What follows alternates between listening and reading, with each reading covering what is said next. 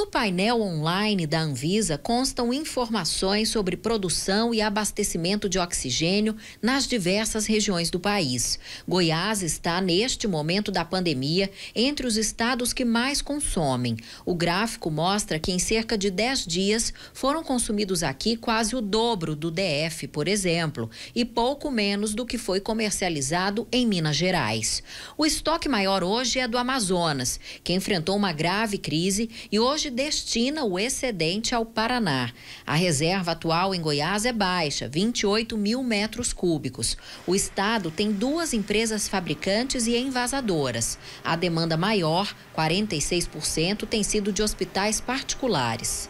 A principal fornecedora de oxigênio medicinal da rede particular disse que houve um salto do consumo em Goiás nos últimos sete dias. A quantidade fornecida diariamente mais que dobrou, o que comprometeu um pouco a logística e a segurança do abastecimento na região. Qualquer falha na distribuição de oxigênio pode levar a um caos, como o que aconteceu em Manaus. O secretário de Saúde de Goiás diz que não há risco de faltar. A dificuldade maior é nas cidades do interior do estado, que não têm tanques e precisam alugar cilindros. Há uma resolução da Anvisa que flexibilizou né, algumas, é, algumas exigências em relação ao, aos vasilhames que podem armazenar oxigênio então, os municípios estão correndo atrás disso, na medida do possível, temos ajudado também.